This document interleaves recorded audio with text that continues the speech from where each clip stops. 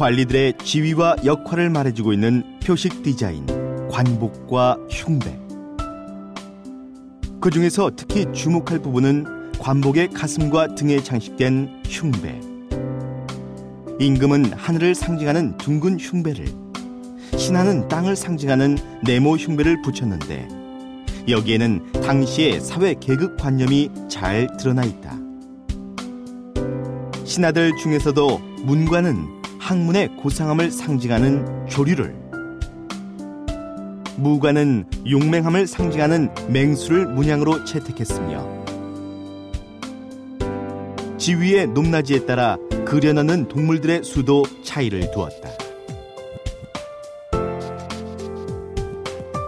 제한된 공간 내에 여러 가지 문양을 조형적으로 배치하고 이를 가슴과 등, 어깨 등에 달아 의복의 아름다움을 강조한 장식품이기도 한 흉배.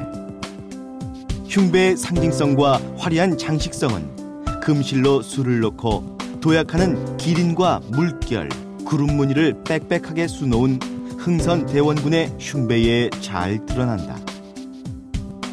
옷을 입는 사람의 지위와 품격, 그리고 당대의 사회상까지 반영하고 있는 관복과 흉배.